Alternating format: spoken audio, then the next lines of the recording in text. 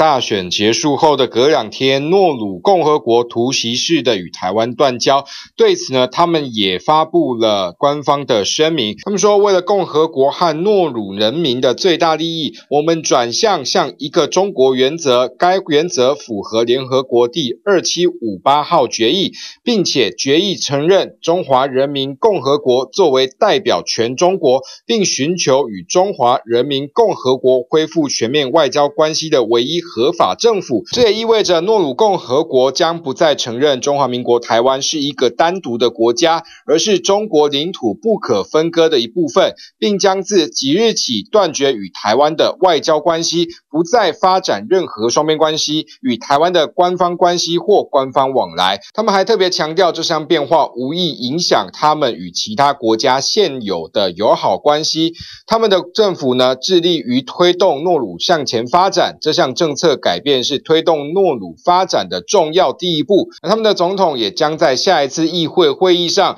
就此发表进一步的声明，并且在当地电视和广播中发表全国演说。另外，他最后强调，诺鲁还是一个主权独立的国家，希望与其他国家保持友好关系。